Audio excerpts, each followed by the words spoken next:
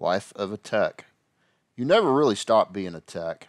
No matter where I go or what I do, there's always tech involved. These are solar powered deck lights. The ones that change colors are going on top of the deck, and the clear ones are going on the stairs.